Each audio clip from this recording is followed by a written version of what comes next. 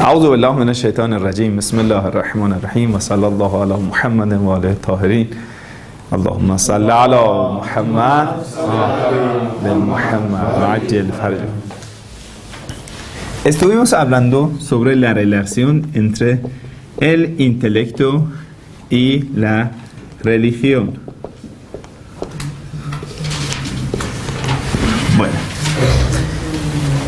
hemos dicho que hay tres, no, cuatro visiones cómo tratar del intelecto y la razón, de la religión. Algunos dijeron sí al intelecto, no a la religión. El intelecto sí, la religión no. Que hemos explicado ayer.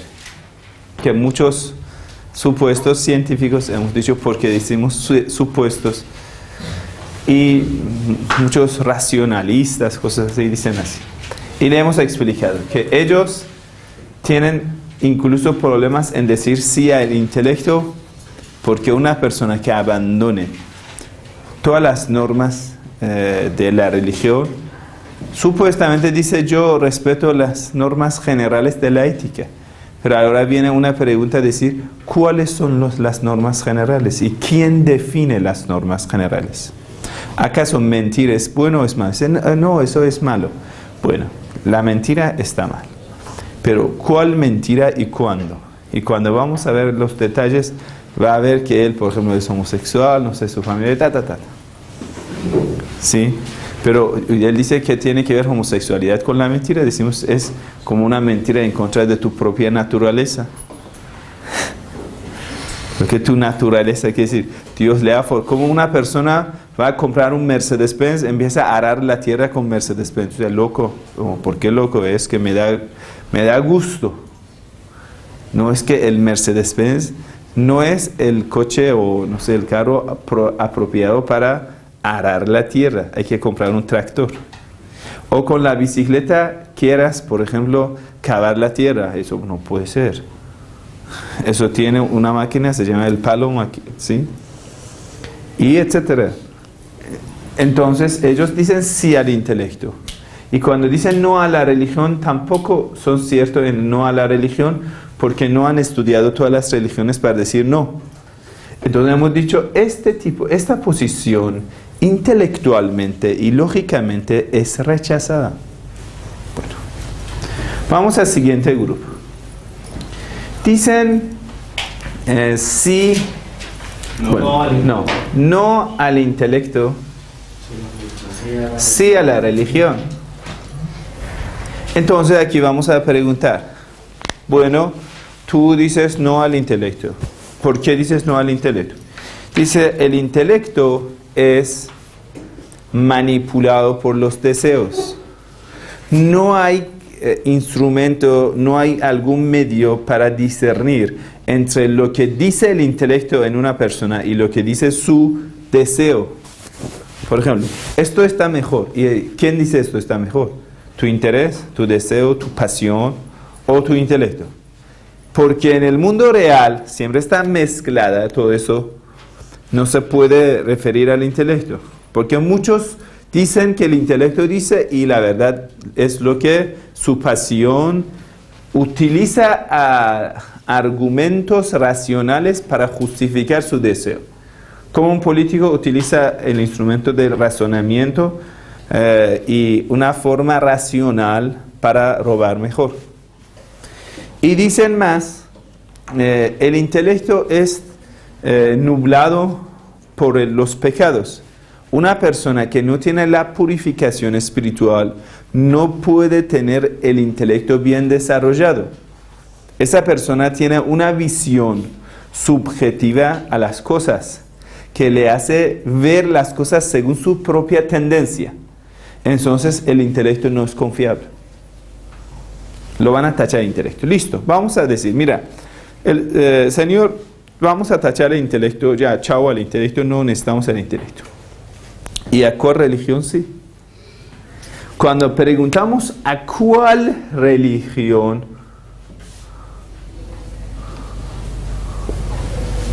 tú quieres decir sí a una religión, ¿sí? A todas religiones sí. Vamos a ver. Puede tener,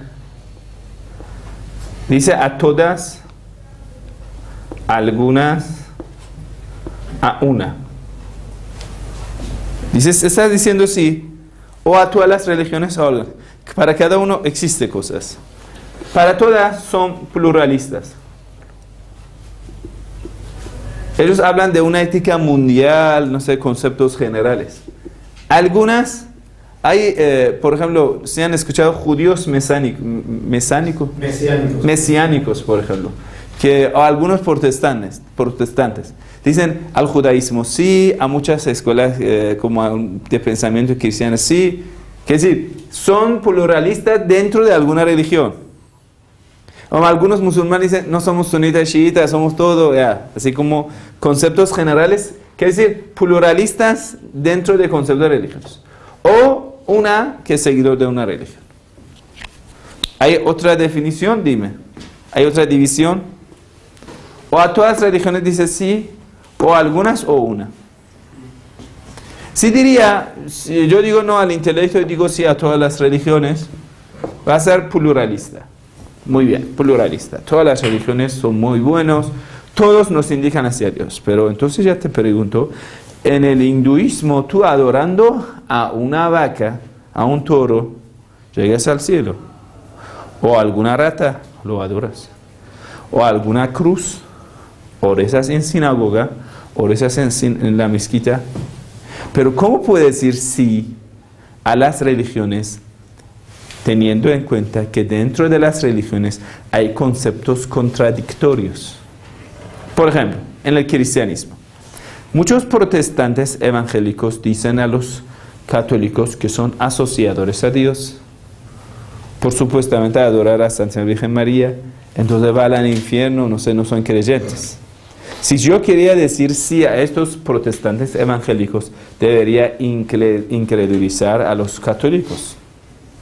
Si yo voy donde los católicos, quiero decir sí a ellos. Estoy hablando dentro del cristianismo. Ni siquiera llegamos al Islam, que ellos, dicen paganos. ¿no? Católicos dicen ellos son extraviados, herejes, herejía, herejía excomulgada. Vete al infierno, no crees en nada, no crees en la autoridad que dejó San Pedro. Entonces, de repente, si usted, ¿a quién yo quiero seguir? No, es que sigo a todos. Es imposible seguir a todos. Es como, por ejemplo, yo te digo, mira hermana, ¿a dónde vas? Estás en el aeropuerto, ¿a dónde vas?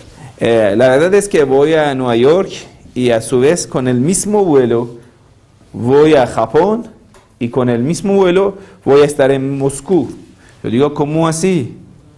Porque Nueva York está en este lado, Moscú está arriba y Japón está en otro lado, Tokio está en otro lado. ¿Y cómo, cómo puede ser que en un mismo vuelo saliendo del aeropuerto y llegas a los tres destinos diferentes. No puede ser. Imposible. Quiere decir, si tú quieres ser fiel a ese concepto que digas, es imposible. Y dices que no quieres utilizar el intelecto. ¿Sí? Este concepto igual verá con las personas que dicen sí al intelecto y dicen sí a la religión. Eh, pluralistas, algunas que esa división no es solamente en esa parte. Generalmente estas personas, hemos dicho, esas son posibilidades. Generalmente las personas que son así, dicen no al intelecto, son fanáticos. Y 99% eh, solamente siguen una religión. Ahora viene una pregunta, ¿a cuál religión? Dice, cállate, no preguntes. ¿Y cómo así?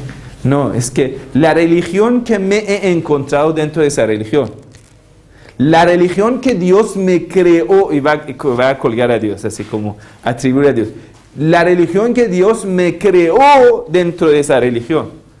Dios me hizo nacer católico y voy a morir católico. Aleluya. Dios me hizo nacer musulmán y voy a morir musulmán. Así dice. Quiere decir, ya ellos llegarán a un Dios que no ha dejado libre albedrío al ser humano, porque ya cuando no podemos confiar en el intelecto para discernir entre lo bueno y lo malo, y dicen lo, lo que hemos encontrado, así, ciegamente.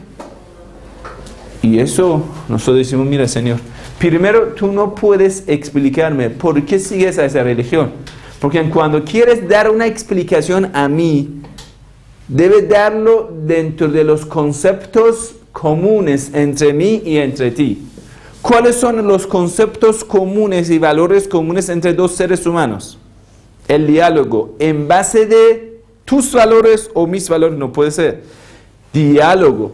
En base de lo que sea común. Entonces será la lógica. Y el instrumento para la lógica es razonamiento. De una forma lógica con razonamiento. Es decir, si tú quieres hablarme y explicarme, decir, ¿por qué sigues solamente a esa religión? Tú has dicho que rechazas el intelecto. Entonces necesariamente necesitas el intelecto. Entonces dentro del catolicismo que rechaza eh, una fe intelectual va a surgir personalidades como Tomás Aquino que dice no, es que necesitamos el intelecto. Lo rechazamos para elegir la religión o para discernir entre las creencias, pero lo vamos a utilizar como una esclava de fe para defender la fe.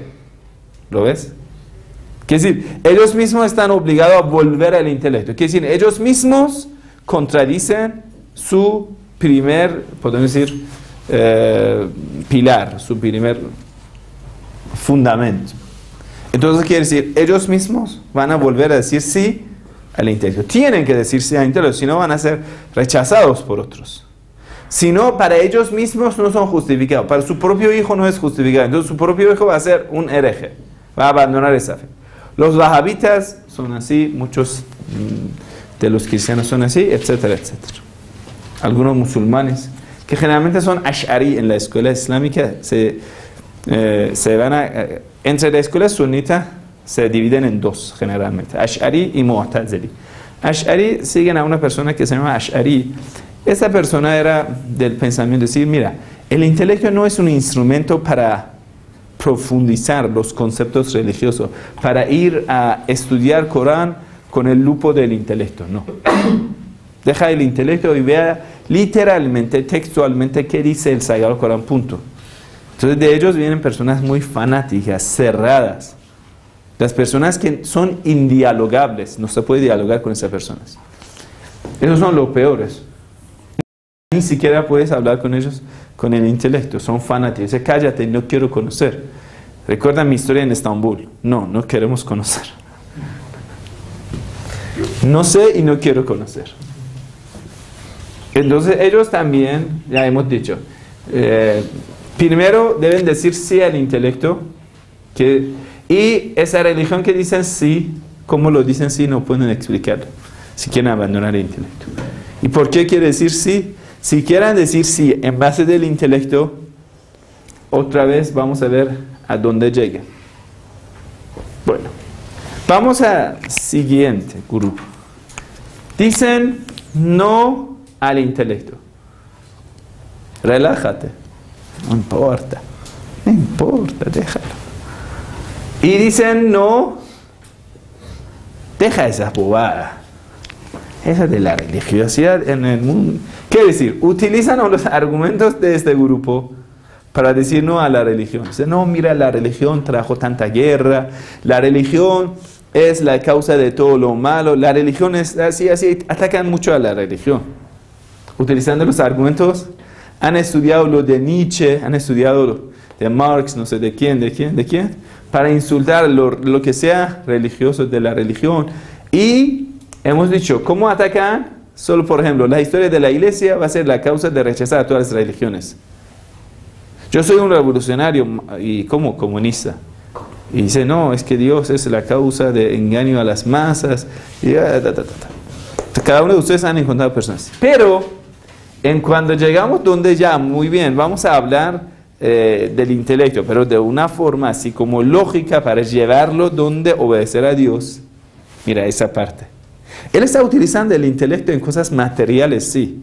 Pero cuando queremos sacar las conclusiones que le llevan al mundo espiritual, mira, no me importa estas discusiones, no me importa, déjalo. Quiere decir, dicen no al intelecto. Que si no es fiel por 100% eh, al intelecto, sí que lo utiliza para rechazar la religión.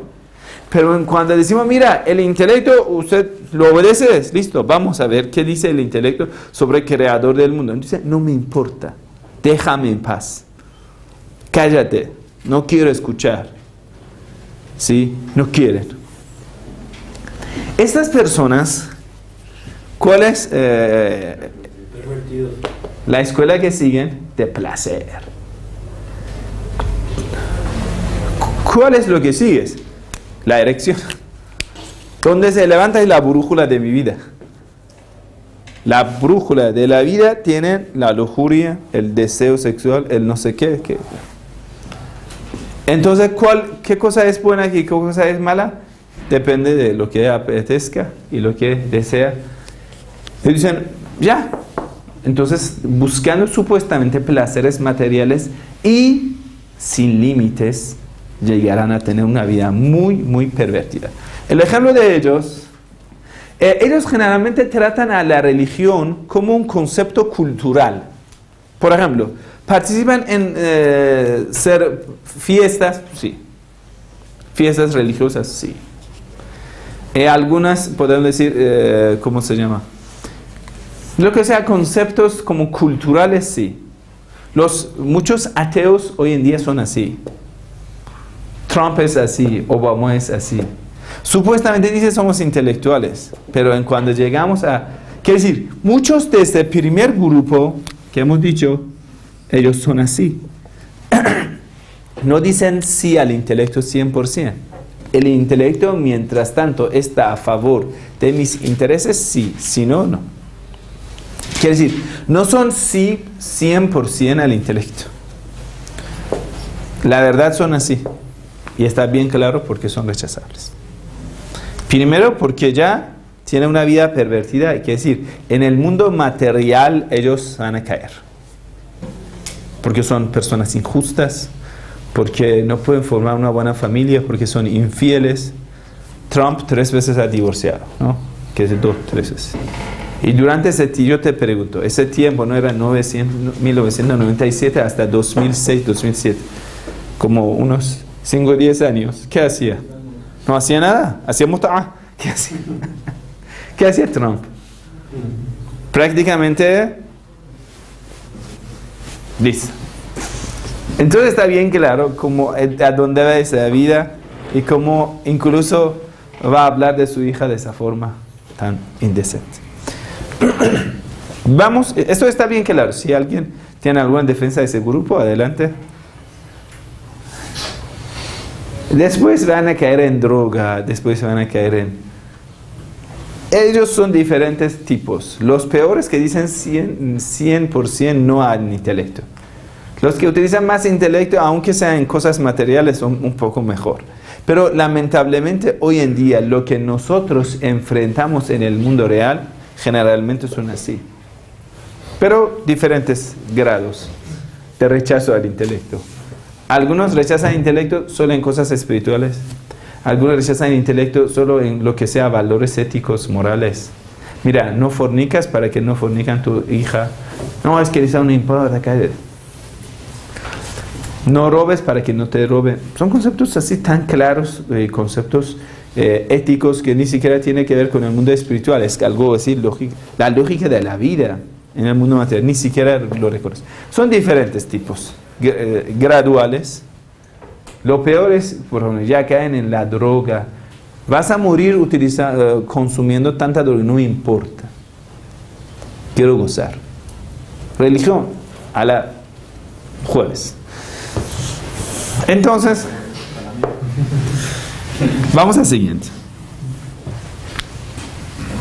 Siguiente, ¿quiénes son? Dicen, el intelecto, sí. La religión, sí. Pero ¿cómo hace? ¿Cómo se puede juntar entre el intelecto? Eso es la escuela shita. Decimos el intelecto, sí, 100%. ¿Por qué? El intelecto tiene un carácter que es como la luz. La luz, esa luz chiquita, dice sí. Quiere decir, todo que la luz me muestra, yo confirmo. Yo reconozco. La luz me muestra, eso es la mesa, sí. Es marcador, sí. Esa luz y el sol lo que muestran es de la misma eh, carácter, de la misma iluminación. Sí que eso no es comparable con el sol. La revelación tiene fuente, es Dios. Esto es chiquito, limitado. Eso no alcanza a todo el mundo para mostrarme todo. Pero sí que muestra. Tiene la luz. Tiene carácter iluminador. Pero no me puede mostrar todo. Quiere decir, todo lo que nos muestra el intelecto estamos de acuerdo. Pero, decimos, el intelecto no nos muestra todo. Sí, hay que llevar ese intelecto contigo y llevar donde, cuando vas a ser en alcance de ese intelecto, ya lo puede reconocer. ¿Me entiendes? Ahora, usted lo llevas al mundo espiritual y lo vas a mostrar. Por ejemplo, con el intelecto pasamos al infierno, un día visitando el infierno. Nos va a mostrar todo eso. Eso sí, eso es aceptable, aceptable. Quiere decir, no hay nada en las actitudes de Dios que sea en contra de razonamiento. Quiere decir, Dios es justo, pero necesitas llevar esa lámpara en donde, quiere decir, las realidades hay que acercarlo para que eso puede mostrarse. Por ejemplo, para yo eh, analizar lo que pasa en los detalles de la tumba, una vez deben ponerme una, ah, como documental de la tumba, Dios hace esto, esto, esto. Ah, eso es justificado, sí, eso es razonable, razonable ya. No es que pasarán cosas fuera del intelecto, es fuera de alcance del intelecto. Si llevamos esa lámpara a donde lo pueda mostrar, el intelecto sí, eso es. Quiere decir, lo mismo que la revelación te dice dos ciclos de la oración por la mañana, si el intelecto supiera toda esa sabiduría, diría lo mismo. Quiere decir, el intelecto coincide con la religión. Quiere decir, los conocimientos que hemos recibido a través de la revelación se coinciden. Entonces decimos sí y decimos sí. Si me preguntan cuál religión, decimos el intelecto tiene carácter de discernir entre tantas religiones que hay. Porque ya, yo debo, elegir todas las religiones, el interés no puede ser. Porque en el catolicismo, por ejemplo, tú debes participar en la misa y beber vino, tomar vino. O lo que el, pan que ha caído en el vino, que ha sido islámicamente, eso es impurificado y haram. Te lleva al infierno comer lo que es haram. En el catolicismo te va a salvar absolver de los pecados. Mira, dos conceptos contradictorios. ¿Cómo tú quieres ser pluralista? Uno dice, para absolver, absolverte de los pecados debe comer vino, debe tomar. Y ese concepto de Islam dice, el vino es man shaitan, es impuro de impureza de Satán. Si lo tomas o bebes vas al infierno. Eh, no puede ser, no, no hay camino para juntarlo. Entonces dice, es imposible. Entonces hay que ir a buscar. Algunas no, tampoco puede ser. Porque en las, incluso escuelas islámicas, entre las escuelas islámicas hay, por ejemplo, en la forma de rezar, en la forma de hacer, no se puede juntar.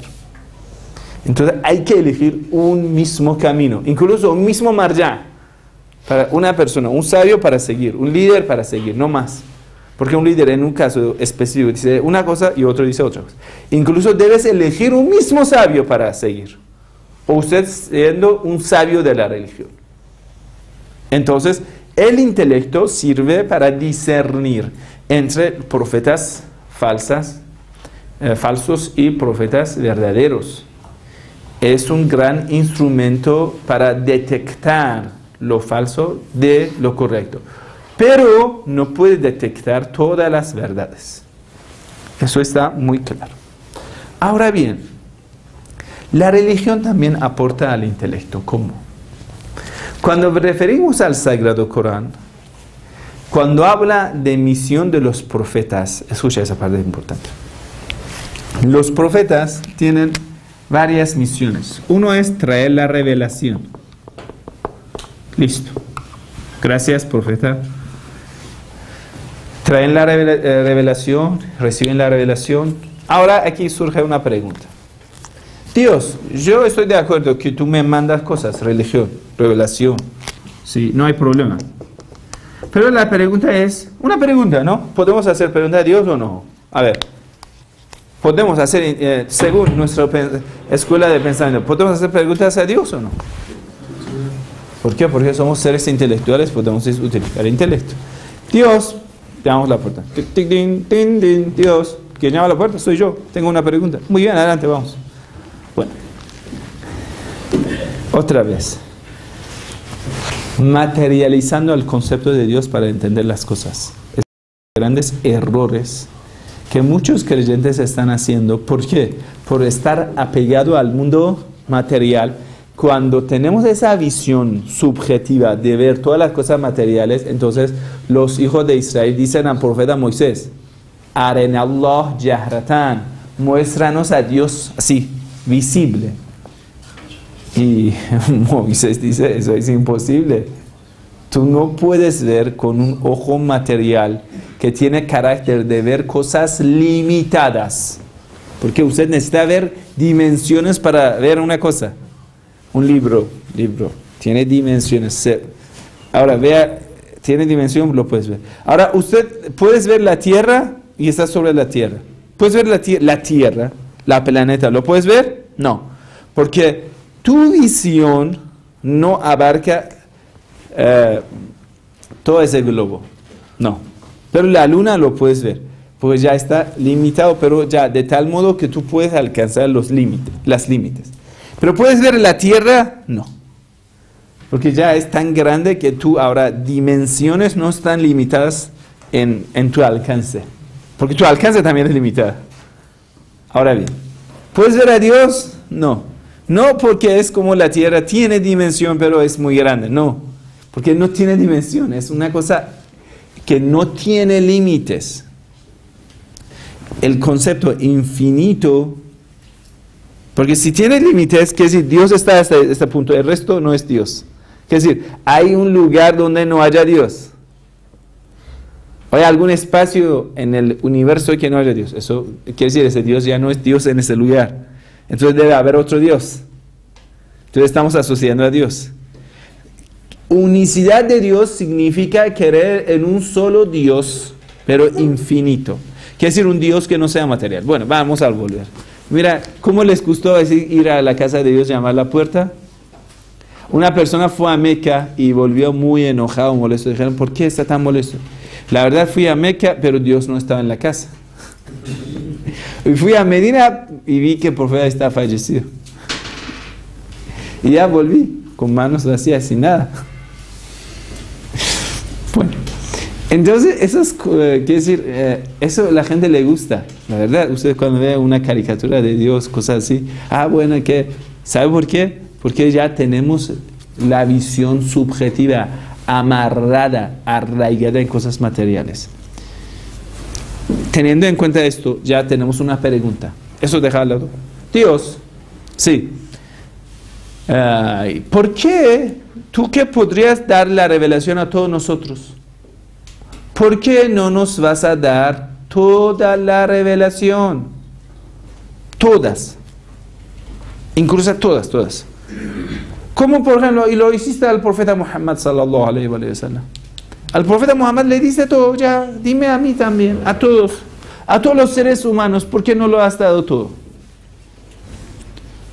La respuesta de Dios sería lo siguiente. Primero, mira, como cristiano, hijo mío, porque ellos deben, incluso estos conceptos espirituales deben, así como concepción, como darlo un concepto material de padre hijo, así no puedo. hijo mío, hijito, escúchame, cállate, escucha. no, Dios dice, mira, la respuesta, eh, la verdad, eso es importante. ¿Por qué no me has dado toda la revelación? Dios no podía hacerlo, sí. Hay una narración dice, si Dios de a todo el mundo todo lo que desea, no pasaría nada. Ya, no pasaría nada. Quiere decir, no se va a reducir ni un punto de ah, tantas cosas que Dios posee. Ahora bien, ¿por qué Dios no me ha dado toda esa revelación? La primera respuesta es, ya no tenemos tiempo, entonces lo va así como dije tú no estás capacitado para recibir todo. No es que Dios, ¿cómo no estoy capacitado? Escúchame, escúchame, espere, deje que Dios te responda. No es Sheikh que le, le interrumpas, es Dios, escúchale. hijo mío,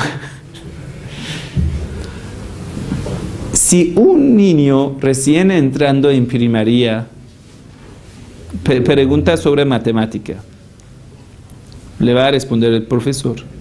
Pero si su pregunta tiene que ver con la matemática superior que estudian en la carrera de matemática en el último semestre de doctorado, una fórmula de matemática así como integrales, no sé, cosas así.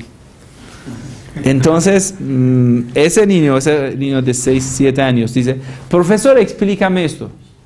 Profesor dice, sí, yo he estudiado esto, tengo doctorado en matemática, tengo todo eso bien claro. Pero tú no estás capacitado para que yo pueda dártelo. Un ejemplo. Hay un vaso, cabe 100, eh, ¿cómo es? mililitros de agua, por ejemplo. 100, 200 mililitros de agua. Dice, por favor, deme 100 litros de agua. Tú no estás capacitado para recibir 100 eh, como litros de agua. Tiene capacidad limitada. ¿Por qué tengo capacidad limitada? Eh, limitada? Porque estás arraigado a las cosas materiales de tal forma que tus ojos están vendados. Tiene ojos vendados. Esa pregunta que hacemos, ¿Por qué los profetas no vinieron a enseñarnos agricultura industrial? Porque vemos los únicos valores que puedan existir, valores materiales. Entre los valores materiales, cuando hablamos de la abundancia, solamente vamos a hablar de abundancia de comida, la primera necesidad del ser humano. Entonces, si los profetas no hubieran dado algo palpable, material, que sea así como comida, entonces no han servido para nada. Cuando preguntamos, ¿por qué los profetas no han dado abundancia en pan? ¿Por qué no han venido a, industrializar la agricultura? Quiere decir, el resto de las cosas que los profetas hayan hecho no sirve para nada. Porque dentro de los valores que yo entiendo solamente son cosas materiales. Fuera de eso no lo reconozco. Entonces Dios, ¿qué, qué viene a enseñarte? Es decir, no estamos capacitados por la visión y aún más el ambiente, mala educación, ¿sí? malas culturas. No es, es cultura, sea cultura, son miles de culturas, son culturas paganas, son culturas pervertidas. Esto que una cosa tenga carácter cultural no es aceptable. No es que todo el mundo lo hace, que todo el mundo lo haga. No, eso no dará veracidad a una cosa. Puede ser que todo el mundo vaya al infierno. ¿Me entiende? Volvamos al tema. Yo estaba en la piscina nadando. Un hombre, ya, cuando usted incluso con bañador en la piscina, todo el mundo se dará cuenta que eres sheikh. Bueno, sabe que aquí las piscinas en Irán, por ejemplo, no son mixtos. Hombres solamente tienen los horarios y las mujeres tienen horarios diferentes. Entonces, bueno, un hombre me acercó, ya estaba sentado sobre una mesilla, me acercó, mira, yo tengo una pregunta. Hizo una pregunta sobre Dios. Yo empecé a explicar, no, no, deme la respuesta. Mira, Señor, esta pregunta tiene requisitos lógicos para que tú puedas entender estos premisas para llegar a la conclusión. Decía, no, no quiero escuchar premisas. Deme, convénzame. No, mira, tú no puedes estar convencido sin tener estos requisitos, sin tener estos. No, no, es que tú no lo puedes hacer, entonces eso no existe. Ya punto se fue. Mira, yo te digo, mira hermano, construyamos una casa. Y mira, para construir una casa necesitamos una tierra. Para, no, no, no necesito tierra. Construya la casa. ¿Y dónde? ¿Cómo? Deme frutas. Pero necesitamos eso, una tierra fertilizada y poner un árbol, árbol que crezca 5 años, 10 años y te da frutas en la estación apropiada. No, es que yo quiero la respuesta ahora, ahora. Si no lo puedes dar, no existe. Otro ejemplo. Hay un concepto, se llama Mao de Yesmani. Mao de Yesmani significa que el mismo cuerpo que hoy tienes, en el día del juicio final, Dios te dará lo mismo. Quiere decir, otra vez el espíritu vuelve a un cuerpo igual, igual este cuerpo. Son conceptos ya de la filosofía, de, hay, hay muchas preguntas al respecto, ¿sí? Bueno, aquí hay una ayatollah que podemos decir es la cima de la filosofía, es alumno de Alomet se llama Ayatollah Javadiomoli. En el misticismo, en la filosofía, es como arriba de la montaña, hoy en día la persona más sabia en filosofía, si sean dos, uno es él, en el mundo. Oh, bueno, después tenemos Mati, ya, por supuesto. Hoy, es un sabio místico. Algún día, si quieren, pueden ir a visitarlo. Por ejemplo, en mediodía está cerca. Agarra un coche y diga, uh, aquí está cerca, digamos a Cesra. La oración por mediodía, vayan a rezar. Vean cómo reza. Reza como un enamorado. Así. Cuando llegas tarde, igual llegarás a Kunut, porque eso durará como 10 minutos. Así, como nosotros hacemos la oración express, él hace la oración así bien prolongada. Es, está bien una vez viendo a esas personas que tienen la fe, han probado que es la fe. Bueno, ¿cómo se llama? Le llamo Diomoli. Ah, señor, ah, hermanos pueden llevarlos. Bueno, le llamo Diomoli. Una persona fue donde le llamo Diomoli, un jovencito así como de nuestras edades, ya, joven mira, al final no he entendido que existe Mao de ¿no? ¿Qué decir? Ese concepto filosófico tan profundo que los filósofos están ahí en muchos como discusiones, cosas así. Y dijo así a mira, después de rezo ya llega donde dice, al final no pude entenderme, diga que eso, ¿por qué existe? O no existe ya. Explícame. Esa Ayatollah es muy sabia, así, lavando la cabeza mirando a ese joven. Dijo, hijo mío, debes estudiar 10 años la jurisprudencia islámica. Y después, eso se llama mangul. Mangul significa lo que es de las narraciones del Sagrado Corán, Hadith, todo. Y después 10 años, ma'akul, ma'akul todo lo que es intelectual, de los estudios que son de la lógica, filosofía, y después 10 años el misticismo. Y después de ese 30 años ya venga a hablar. no es que de una, no, es que ya me explica esta cosa de física cuánto. Ahora, ahora. Es como ese niño de primer grado. ¿Tiene explicación? Sí, pero necesita requisitos, las cosas que tú puedas entender y al final yo pueda así explicarte. ¿Cómo usted dice? Dos por dos, diga. Muy bien. 2.496 por 5.491. Eh, Diga. No, es que mira, mira. Ah, ya. No, sé deja, hermano, deja. Sí, sí, ya. Puedes llegar a una conclusión. Pero quiere decir, primero, el resultado no es tan claro. Segundo, reconocer que este resultado es resultado de ese, eh, ¿cómo se llama? Esto por uno. La multiplicación. La multiplicación tampoco es tan claro. Pero ya, cuando lo vas a así como escribir, explicar, ya, así, ah, usted dice, ah, ¿sí? Al final dice, esto requiere tiempo y explicación. Bueno, ahora, ¿qué hacen los profetas? Dicen, sí, recibimos la revelación porque son personas perfectas. Pero la perfección también tiene, es gradual pero ya tienen una perfección, quiere decir, han pasado de estado del pecado. Quiere decir, tienen la intelectualidad pura. El intelecto no tiene tendencia. Entonces pueden reconocer lo que reciben. Tú no puedes recibir la revelación que rechazas. ¿Puede ser? Un profeta, el arcángel Gabriel dice, mira, profeta, diga eso. No, eso es falso. Quiere decir, cuando tú no, estás capacitado para comprender esos conceptos profundos por las tendencias que tienes a los deseos, a lo material, que si lo material te hace ciego, no vas a ver. Entonces no puede reconocer. Cuando no puede reconocer, no puede tener fe en lo que recibes. Y vas a ser un profeta incrédulo.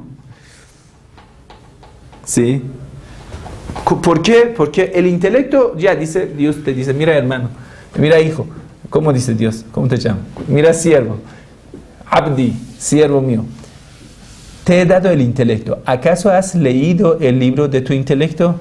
Entonces, no, la verdad es que durante todo este tiempo yo tenía el intelecto nublado por mis deseos, por mi lujuria, por mi pasión, por mi cultura, por mi tal, por tal, y no he tenido tiempo. Entonces, ¿cómo me exige el siguiente libro que se llama La Revelación? ¿Me entiende? Entonces, recibir una visión, una revelación, antes de ser purificado es imposible. Sí, de Satán puede ser, pero ya de Dios no. Que si no necesitas para que Dios es sabio. Cuando tú no, no necesitas cosas, no te lo va a dar. Se mira, primero debes purificar tu intelecto. Dice, bueno, ¿dónde está el camino para purificar mi intelecto? Quiere decir, pulir mi intelecto de lo que lo ha cubierto, despejarlo para que pueda ver. Hay una vela, pero ahora lo cubres. Lámpara, lo cubres. ¿Puede mostrarte cosas? Nada. Y cuando ya estás súper cubierta, no te muestra nada. Quiere decir, ¿tiene luz? Sí, pero es cubierta. Hay que sacarlo. Entonces, la cosa más importante de lo, eh, que decir, la misión de los profetas es leyozakihem. Antes de enseñar, es purificar. Los profetas con un ejemplo práctico y también con los consejos sabios empiezan a purificarnos. Lo que hizo Jesús, lo que hizo el Santísimo Profeta Muhammad sallallahu alaihi wasallam es purificar. ¿Para qué purificarnos? Para poder aprender. Y para purificarnos necesitamos el ejemplo práctico, no solamente conocimiento. Porque muchas cosas nosotros sabemos. ¿Por qué no lo ponemos en práctica? Porque no hemos visto personas que lo pongan en práctica. Quiere decir, para ser purificados necesitamos ejemplos prácticos. Entonces, lo más importante en misión de los profetas no es solamente recibir la revelación y pasarte el conocimiento. Es como un disco duro, pasas un USB y recibes la información. No, no. Es que te escanea, te detecta los virus y te empieza a purificar los virus. Purificar para poder aprender y después Primera misión y más importante misión de los profetas, mañana si te preguntan, no es recibir la revelación y pasar la revelación, no, es dar un ejemplo práctico para purificarnos y después enseñarnos. ¿Qué cosa nos va a enseñar? La revelación y sabiduría. ¿Qué es sabiduría? Hikmah es los conocimientos que un intelecto pulido puede darte, puede aportarte. Quiere decir, un intelecto normal, pulido, puede darte muchos conceptos sabios, muchos consejos sabios. Tal como una narración dice, si una persona, eso es la última palabra hoy, una persona, es interesante esa narración, si una persona 40 días no comete ningún pecado, durante 40 días no comete ningún pecado, las fuentes de sabiduría manarán de su corazón, que es de su intelecto puro, a la lengua. ¿Por qué nosotros no hemos llegado? Porque siempre estamos pecando. Claro. 40 días no hagan ningún pecado, ni pecados de la lengua, que solamente tenemos 70 pecados que pasan por la lengua otros pecados prácticos. 40 días abstienes de los pecados, de todos en absoluto. Esto te va a pulir de tal forma que las fuentes, es una oración del profeta, las fuentes de sabiduría manarán de tu corazón a tu lengua. Entonces muchos sabios tomaban 40 días de silencio para no cometer pecado, porque muchos pecados son por la lengua. Vas a despreciar a una persona, lo molestas, no se lo insultas, un montón de cosas. Entonces, para empezar esa purificación. Si tú te purificas, ya, eso es el primer camino para poder aprender. Entonces nunca una persona borracha, una persona injusta, una persona que come cerdo, una persona que ya tiene todas esas falencias, no puede entender lo que es sabiduría. Eso es un concepto muy profundo que inshallah después lo vamos a desarrollar.